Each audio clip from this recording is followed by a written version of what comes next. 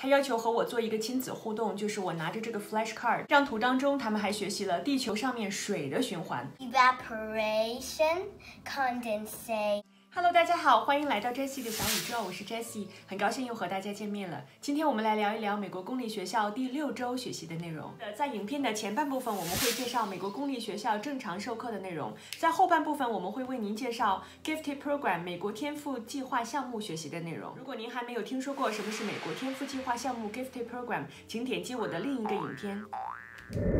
第六周第一个侧重点，孩子们学习了天气知识。他们了解到了观测天气必备的测量仪器，比如说风向标、雨量表和温度计。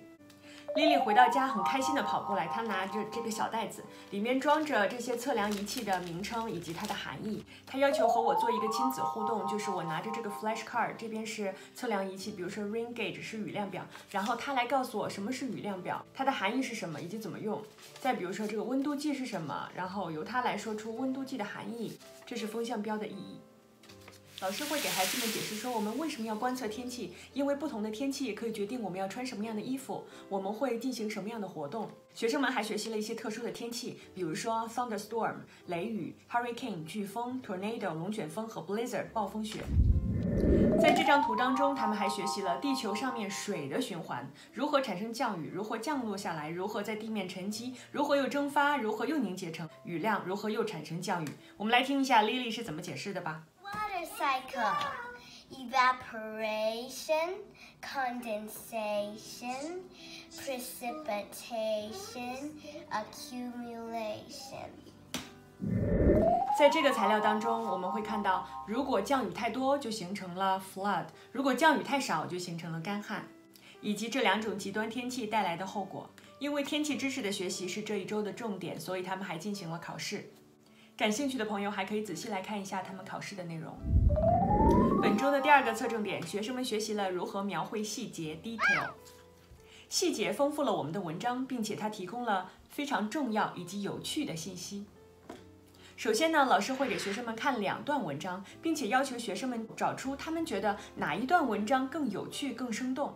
我们举个例子来看看，在第一段文章当中，比如说 Lily 这里画了一个圈，A farmer feeds the cows，也就是农民给牛喂食。但是第二段文章当中，他不仅说了农民给牛喂食，而且还说了农民为什么给牛喂食，嗯，牛生活在什么样的 farm 里面。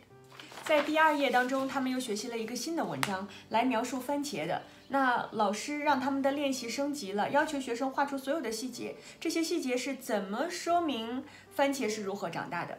下面这里有一个问题，你要回答出番茄看起来怎么样，摸起来怎么样，并且上面的哪个细节非常打动你，你觉得很有趣，你把它也写下来。通过这个故事，他们还学习了复数的概念。那比如说加上 s 表示不止一个，表示很多个 seeds。Flowers，在第三页当中，他们又学习了第三段文章，也就是面包的形成过程。通过这个第三段文章，我们要练习什么呢？练习做结尾。你来做一个结尾，加上一个 detail，使得这个结尾更有趣。在最后一页，他们的练习又一步升级，要求你在头脑当中构思一个完整的文章，它的主题是什么？My favorite bread，我最喜欢的面包。你要选定一种面包你最喜欢，然后下面都是细节，比如说第一个细节，你喜欢吃的这个面包上面有什么东西？你是什么时候吃的面包？你在哪里吃的面包？和谁吃的这个面包？为什么你喜欢这个面包？你是喜欢怎么吃它？所以这个就是一个完整文章的一个构思。通过这样的训练，他们学习了如何选定主题，如何加入细节，使文章更生动、更有趣。在第四周的时候，老师教了学生如何选定主题。如果忘记了这期内容的朋友，请点击上面的链接进行补课哦。在在这一周的听故事学英文当中，他们学习的故事名字叫做 Wilfred Gordon。听完了故事，他们要回答一些问题，比如说，我们举个例子看看，在第六题当中，Why does everyone have a different definition for memory？为什么每个人对于 memory 记忆的理解是不一样的呢？丽丽的回答是，Everyone has a different memory because we see different things。我们看到的东西是不一样的。通过这篇文章，他们还学习了非常重要的六个单词。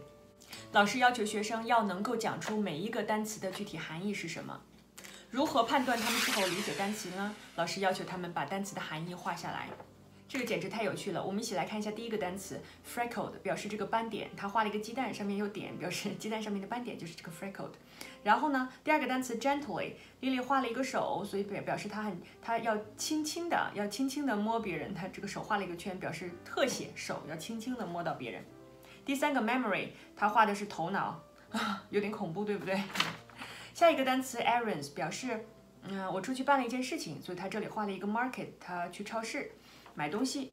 然后 admire 表示我很尊敬，我很喜欢。丽丽解释说，她这里画的是她和我，我很开心，她把我画进去。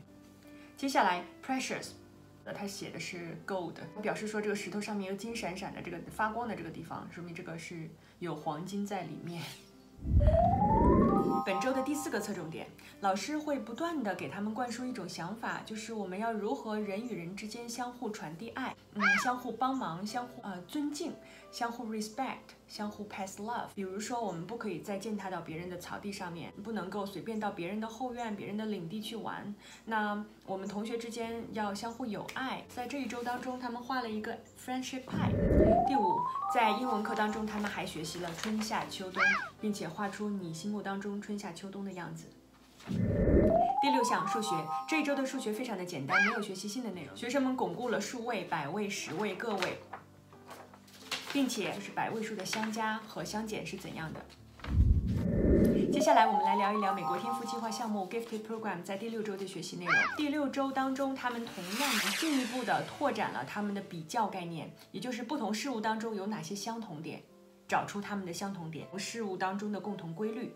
及他们还到室外去观察不同的事物，然后让大家分别说出这些不同事物当中的相同点有哪些，不同点有哪些。很多东西放在一起的时候，你能不能找出这样子的规律？